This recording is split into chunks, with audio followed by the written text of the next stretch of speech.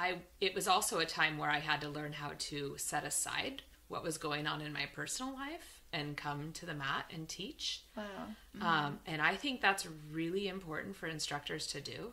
Not that we can't take our personal stories and relate them in class, but if you're having a particularly difficult time, you can't keep bringing that to class over and over. You have to, you know, you have to come with something to teach and you have to bring your best self there. How did you So- do that? Um, I would have to breathe on my way there, center, um, usually set an intention for class. Also,